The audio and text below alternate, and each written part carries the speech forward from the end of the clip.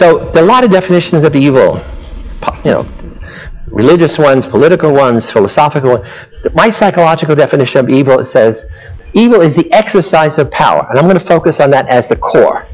It's people are exercising power, dominance, control over other people, and they're doing it intentionally to harm others psychologically through prejudice, through discrimination, through dehumanization, to hurt others physically through torture, through rape, to destroy mortally, to kill people. And when it's practiced at the level of the nation state, then it's to commit crimes against humanity. That is, um, as, as we saw in Rwanda, as we saw obviously in Nazi Germany.